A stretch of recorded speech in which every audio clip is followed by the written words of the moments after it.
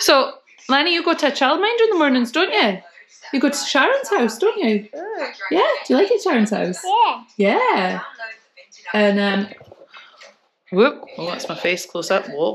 Um, and I've had my coffee and we're ready to go out and do some work. So, ma- Mama, I. I want to see you. you want to see me?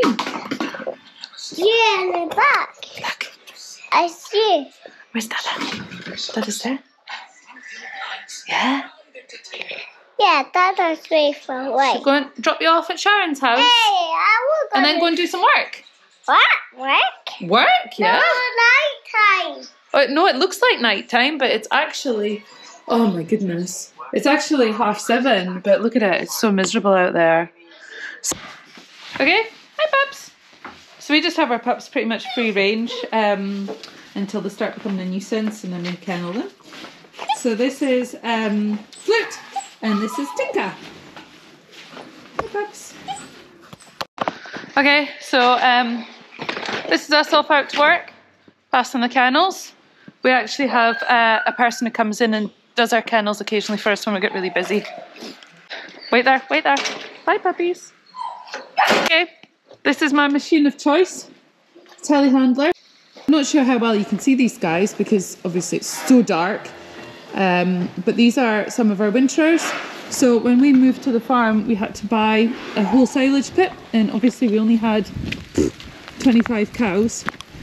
So, um, so job of the day is feeding these guys.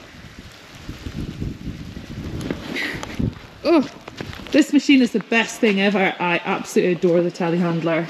It just does everything.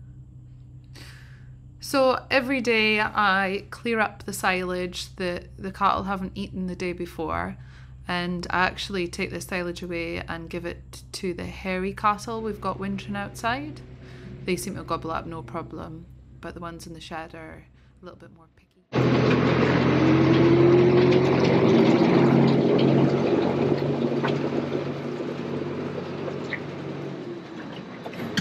I just showed it every day.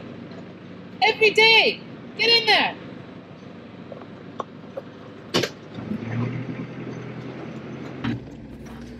This is me just uh, pulling some silage from the face of the pit. I then scoop it up with a bucket and then we have a tasty treat for the cattle. This silage pit has been the bane of our lives to some extent because it cost us 35,000 to buy and obviously we hardly had any cattle to eat it. So we now are wintering uh, 150 head of other people's cattle. So it's a huge amount of work, but we needed to eat the silage somehow. We couldn't just let the pit go to waste. And it was a condition in the terms of the tenancy that we bought it. And before we entered the farm, we kind of valued the silage ourselves at about 12,000 and uh, came as a bit of a deadly shock to us when we had to pay 35, which is pretty much a deposit on a house. But hey ho, uh, you have to do these things sometimes. And it's actually worked out not too bad because the silage is analysed really well and everything seems to be eating it really happily. These are the outwinters, so the ones that stay out in all weathers. It really doesn't bother them. In fact, these type of cattle, the Highlands and the Shorthorn crosses, really thrive outside and they just really don't enjoy being inside. So these are the cattle that were wintering. There is about 70 of them and they're mainly rough-footed Highlands and they seem to be doing really well to be honest. The weather doesn't seem to bother them nearly as much and got lots of places for shelter in this field as you can see. Um, you can just see them coming out all that all the gorse bushes.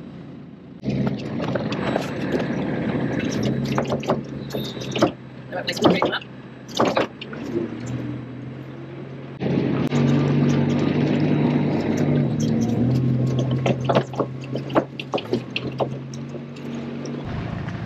standard stuff that happens when you leave a gate open. Go on, go on, go on, get, get, get, get, get. And you. Come on. Come on. Come on. Come on, get up. So quiet, these cars. Come on. This is the blessing and the curse. This is Ewan's climbing mat.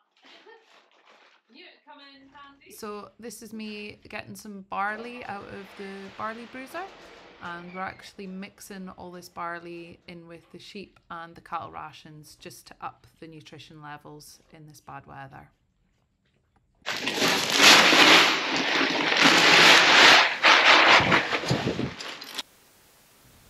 So this is our neighbour taking away his combine from our shed.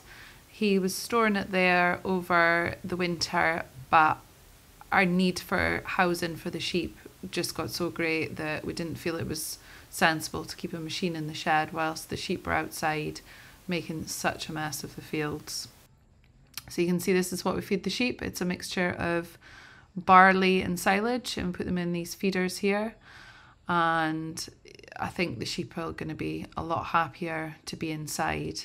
And yeah, you can see the barley mixed in amongst it there.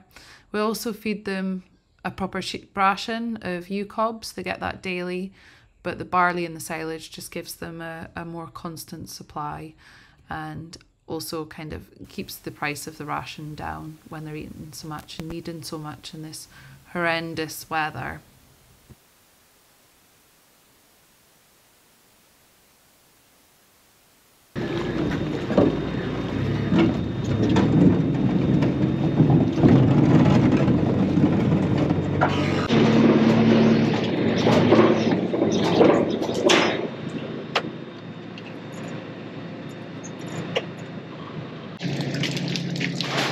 Good. Learning to my, listening to my fitness class, getting fit.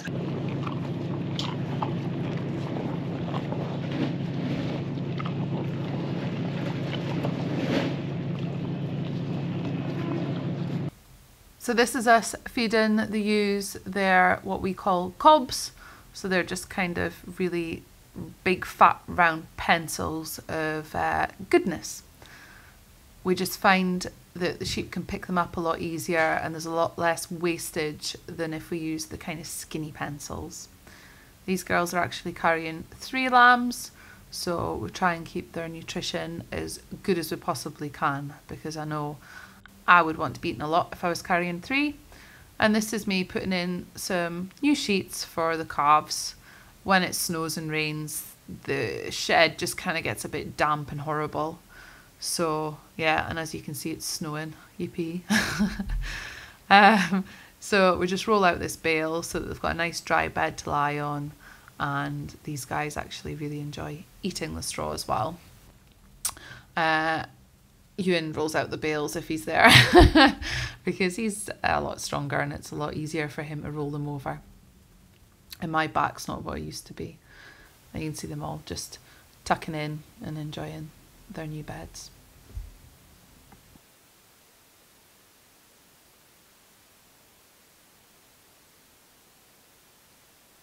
Oh, we're upside down. I look a bit windblown, don't I? Yes. so the time is now uh, one o'clock. Yeah, one o'clock. And uh, we'll have to get Len in an hour and a half. And uh, yeah, fun games. This is our window so that's kind of it for us. That's our morning in the life of. And here we have a couple of outtakes of me showing how unnatural I am at learning to use a camera. But anyway, just a wee bit extra bonus footage for you guys. And we'll be back with sheepdog footage very shortly.